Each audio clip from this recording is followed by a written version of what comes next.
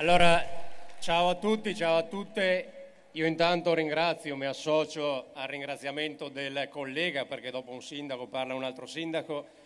del collega Pan che ringrazia tutti i militanti, la sezione di Cittadella, tutti i militanti che si sono dati da fare per settimane per questa meravigliosa giornata. Credo che dobbiamo ripetere un applauso ai volontari, ai tantissimi volontari che gratuitamente, che gratuitamente si sono dati da fare. Dicevo, parlo da sindaco e da segretario della Liga Veneta, parlando da un territorio, perché questi sono territori tutti massacrati dallo Stato centrale, Verona come cittadella, come il Veneto, come il Nord, come le regioni virtuose. Dicevo, territori massacrati dallo Stato centrale,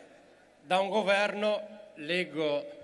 questo striscione che c'è davanti a me, voi non lo vedete, dice del Presidente del Consiglio che ha la faccia da pirla, c'è scritto lì, io riporto quello che, che scrive quel, quello striscione.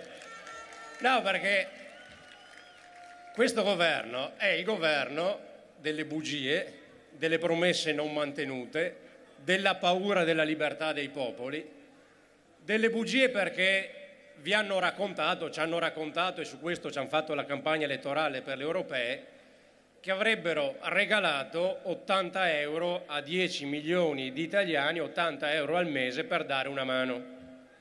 E hanno raccontato che questo l'avrebbero fatto tagliando la spesa e sarebbe stato anche sensato, tu tagli spesa pubblica, dai soldi alle famiglie, alle imprese. Questo dovrebbe fare un governo serio.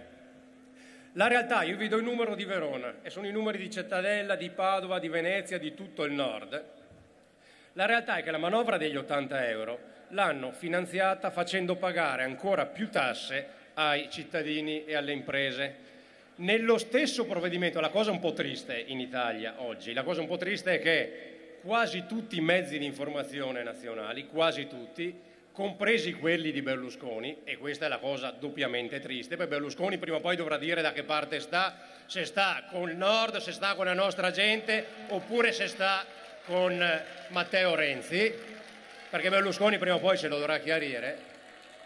perché i mezzi di informazione non hanno scritto che nel provvedimento che finanzia gli 80 euro c'è scritto che viene autorizzato lo Stato a aumentare il debito pubblico di ulteriori 40 miliardi di euro. Gli 80 euro li hanno finanziati con debito e tasse, non hanno tagliato la spesa e per quanto riguarda le tasse, io vi dico i numeri della, di Verona, ma in base agli abitanti sono gli stessi di tutto il nord.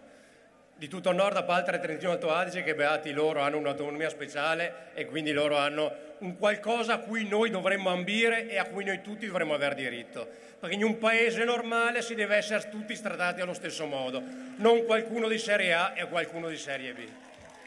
Dicevo, e questo non è avercela con Trentino Alto Adige, loro fanno bene ad avere l'autonomia e fanno bene a difenderla con le unghie e con i denti. Ed è la stessa cosa che dovremmo avere il coraggio di fare noi Veneti, noi Lombardi, gli Emiliani, tutti dovrebbero avere il coraggio di difendere e portare avanti la loro autonomia, perché è un diritto essere ben governati e spendere bene i propri soldi.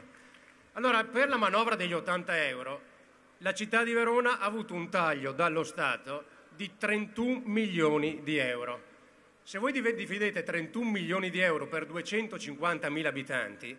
vuol dire che ogni cittadino di Verona, dal neonato al centenario, gli sono stati tagliati più di 120 euro. La manovra degli 80 euro l'ha andati a 10 milioni di italiani. Nella città di Verona, vuol dire in tutto il Veneto, hanno tolto almeno 120 euro per ogni cittadino, dai neonati ai centenari. Quindi hanno rapinato ulteriormente i nostri territori, hanno derubato ancora il Veneto, hanno depredato ancora il Veneto per fare la campagna elettorale del Pirla. Questo è quello che è stato venduto agli italiani.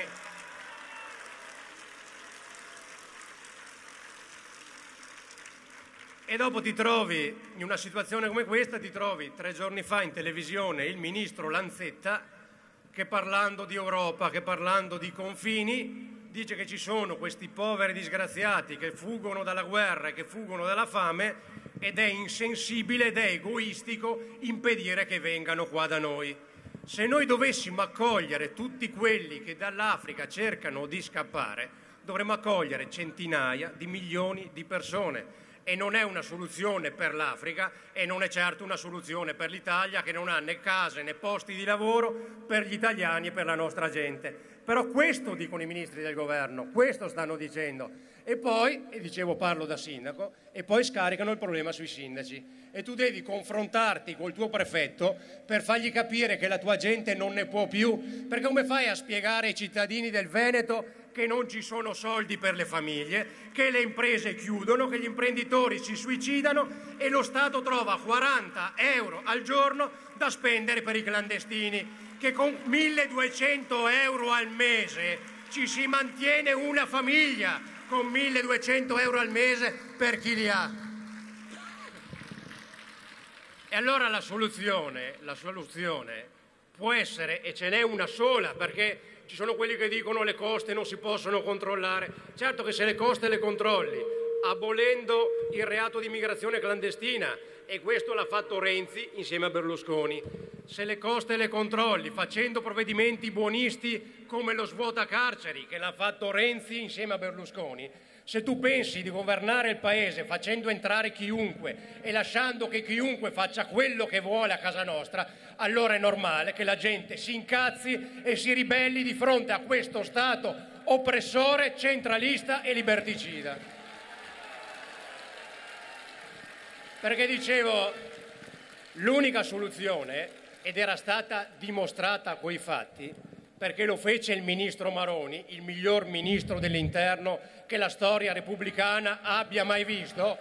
e fu l'unico ministro che sfidando la sinistra italiana, quella che sostiene la faccia da pirla, che sfidando l'Europa disse noi pattugliamo le coste libiche e quelli che provano a venire li respingiamo e quelli che arrivano li carichiamo su un aereo e li rimandiamo indietro. È l'unica soluzione umanitaria,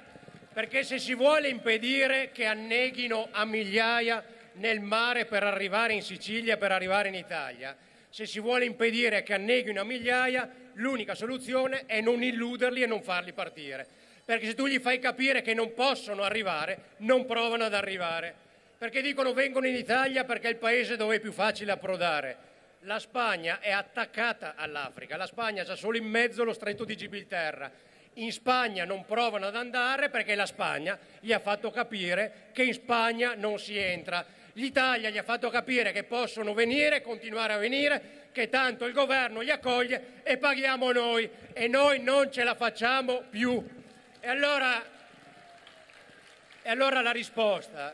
la risposta è nel referendum. La risposta è nel referendum che la regione del Veneto, quindi la regione governata da Luca Zaia, non un comitato di cittadini, una forza spontanea che va bene, vanno bene le forze spontanee, vanno bene i cittadini, vanno bene quelli che promuovono l'autonomia e l'autogoverno, ma la regione Veneto che rappresenta tutti, tutti i veneti, non rappresenta una parte dei veneti, la Regione Veneto rappresenta i 5 milioni di veneti che vivono in questa regione. La Regione Veneto ha detto allo Stato, con i soldi nostri, neanche con il denaro pubblico, con i soldi privati, noi facciamo un referendum per chiedere ai veneti cosa pensano dello Stato centrale. Se gli va bene questo Stato centrale oppressore e liberticida o se se ne vogliono andare liberi. E allora la cosa più ottusa, la cosa più stupida che poteva fare un governo romano è quella di provare ad impedire che la gente si possa esprimere. Perché la paura dimostra che lo Stato centrale è in colpa, perché se lo Stato centrale fosse con la coscienza a posto, non avrebbe paura che la gente si esprimesse. In Inghilterra e in Spagna hanno lasciato che la gente si esprimesse, si sono confrontati ed è vero che in, che in Scozia ha vinto per poco il no al referendum, però qualche giorno prima il premier inglese ha dovuto dire la Scozia ha un suo Parlamento, ha già la devolution, ha già un'amplissima autonomia fiscale e tributaria e ha dovuto andare là e dire se non vi staccate noi vi diamo ulteriori forme di autonomia ed è quello che dovremo fare noi. Il referendum serve a questo, serve per far capire allo Stato centrale che le famiglie del Veneto, che il popolo veneto, che i popoli del nord non ce la fanno più a essere sfruttati e a pagare per gli sprechi dello Stato centrale. viva la Lega, viva Cittadella, viva la libertà!